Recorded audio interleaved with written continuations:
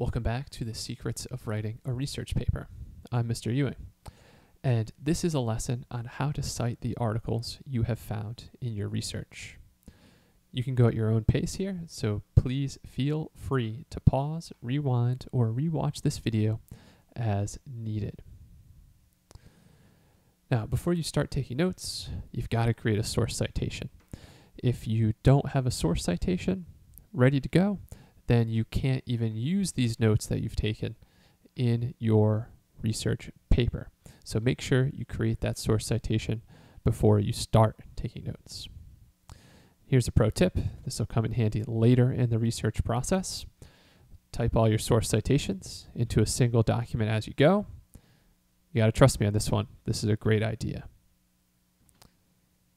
Now, here are the basics on how to cite an article in MLA format. Simply, you put the author's last name, comma, their first name, period, a space, the title of the article in quotation marks, a period, and then the end quotation, a space, then the title of the journal in italics.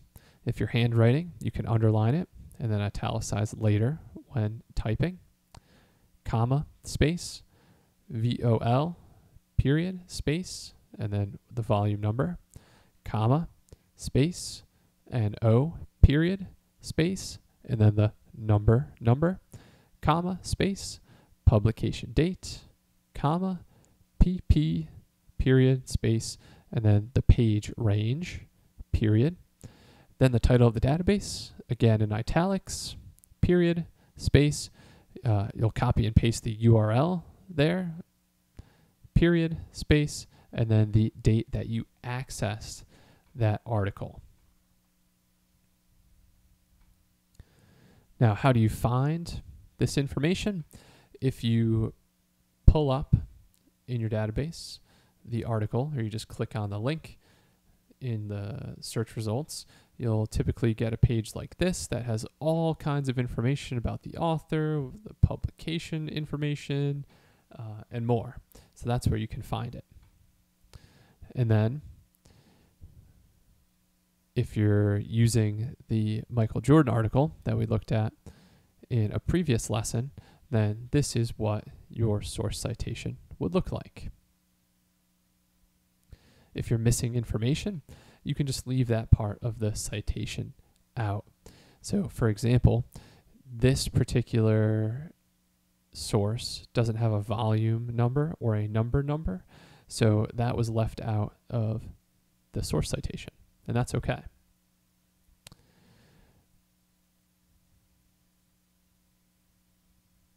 Now, again, if you pull up the information on the page in the database, that's where you'll find all the information you need to put together a source citation like the one that I just gave you as an example.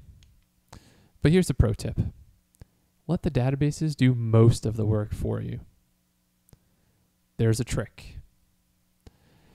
If you go to that same page with all of the source information and you look to the right, and this may be in a different location on the database that your school provides, but there should be a button that says cite or citation.